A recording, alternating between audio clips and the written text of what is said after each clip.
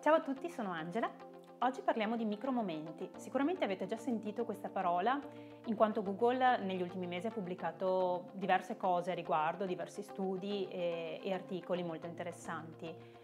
Micromomenti è la parola che dovreste googolare nel momento in cui vi accorgete che eh, guardando le statistiche del vostro sito ci sono più utenti da smartphone che da desktop. In Mocha abbiamo fatto un interessante brainstorming su questo tema qualche mese fa perché ci siamo accorti che su eh, diversi e-commerce che stavamo gestendo in quel periodo, soprattutto in ambito fashion, eh, questo sorpasso c'era stato, c'era stato, da tempo e il eh, traffico che, mh, generato da, da mobile, dagli utenti mobile, aveva dei tassi di conversione, dove per conversione si intende l'acquisto, molto più bassi rispetto al traffico da desktop.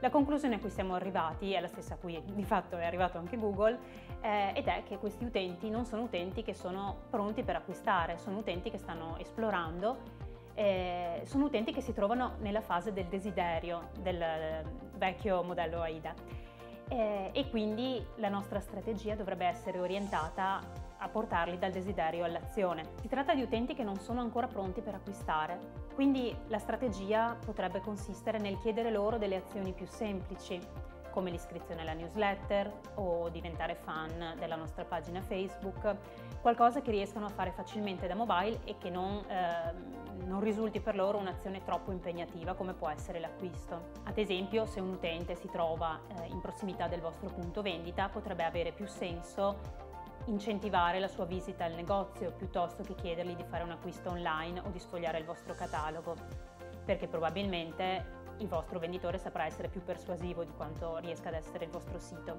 Un'altra cosa che eh, ha sicuramente senso fare è immaginare anche un sito più adatto a chi eh, naviga da mobile e non mi riferisco solo al fatto che debba essere responsive, questo è sicuro, eh, ma deve anche richiedere azioni più semplici, appunto, azioni che un utente che in quel momento non è ancora pronto per acquistare o non è sicuro di esserlo possa compiere. Ad esempio la possibilità di inviarsi la scheda prodotto via email. In questo modo l'utente potrà ritrovarsi nella sua casella, magari da desktop, eh, il link al prodotto che gli era piaciuto e lo potrà acquistare comodamente in un secondo momento.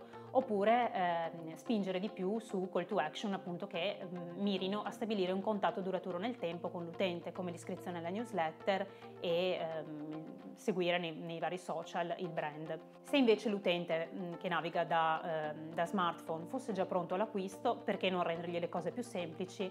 Eh, mettendogli magari la possibilità di eh, fare ordini telefonici. Come potete immaginare diventa quindi indispensabile eh, pensare ai micromomenti in, all'interno della strategia globale di marketing online. Voi cosa ne pensate? Potete scriverlo nei commenti qui sotto. Grazie e buona giornata!